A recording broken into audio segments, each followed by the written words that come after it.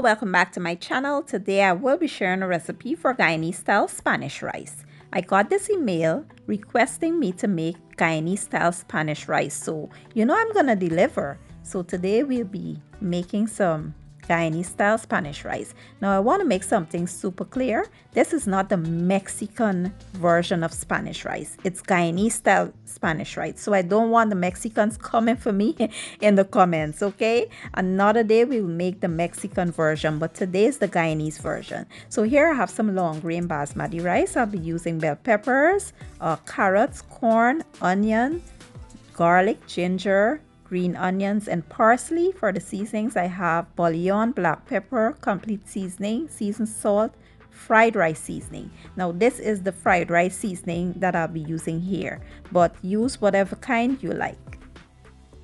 So the first thing you want to do is add a bit of oil to a preheated pot and then we will add our washed rice in there. You want to wash the rice really well before adding it. We will, you know, toss the rice around a bit and then we will add the seasonings to the rice. Once we're done, you want to allow it to toast a bit for about 4 to 5 minutes, stirring consistently. Once that is done, we will go ahead and add some hot water here.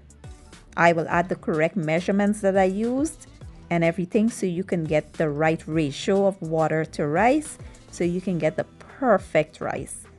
We will cover it once the water is added and we will turn our heat down to low and allow it to cook until all that liquid evaporates.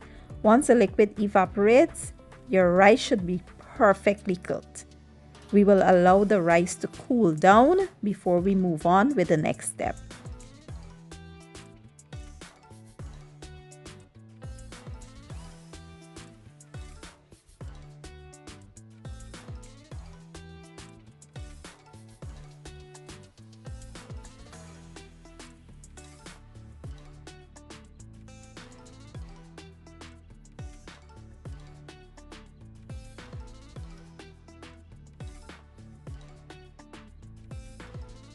So to the same pot, I did add a few drops of oil and now we'll go in with some butter, allow that to melt.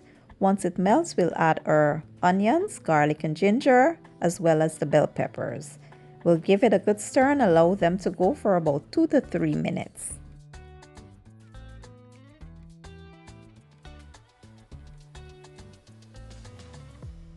Next, we'll add the carrots and corn as well as some seasonings because you want to add flavor to everything. We already flavored our rice. Now we will flavor the vegetables with some seasoned salt and black pepper. Very simple. If you want, you can add whatever seasoning you like. You could add some more of that fried rice seasoning. But I tasted my rice and it was perfect. So I don't want to over season the vegetables. So at this point, our vegetables should be nicely cooked and now we will reintroduce the rice back into the pot. We'll give it a good stir, making sure it's nicely coated with that vegetables. And then we will top it with some freshly grated carrots and our green onions and parsley. And that's it guys. That's how simple it is to make Guyanese style Spanish rice.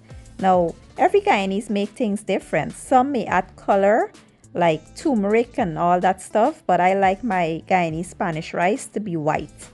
I don't like adding any color to the rice. Whatever color you see on that rice, it's natural color. I didn't add any color in here. That's how I like mine. And you know, that's it. It's so simple and this goes with a number of different things. Any entree you want to pair this with, it's a perfect side dish. Now I will plate everything up and show you guys the finished product.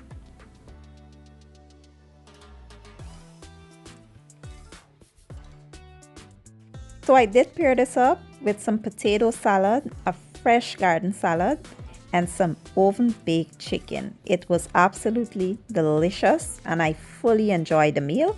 I hope the person that asked for this recipe. It met their expectations and I hope you all give it a try. If you enjoy my video, please give it a thumbs up, share it, leave a comment down below and don't forget to hit the subscribe button for me.